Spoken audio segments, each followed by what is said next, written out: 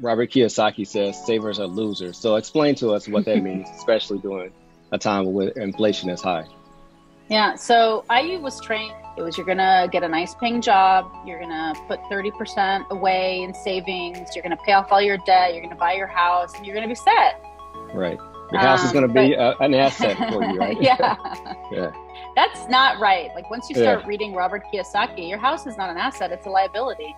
If you have three hundred thousand dollars in the bank that you've saved up because you've been so good, it's losing at nine percent It's losing money. This is the highest inflation rate in decades.